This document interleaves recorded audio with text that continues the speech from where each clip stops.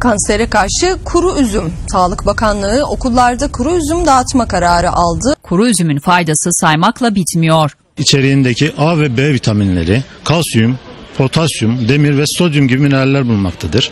Ee, çocuk gelişimi açısından bu mineraller çok önemlidir. Çocuklarda kansızlık, halsizlik, zayıflık ve ishale karşı tedavi edici özelliği vardır. Ayrıca öksürük açısından da çok keser, öksürüğü de keser.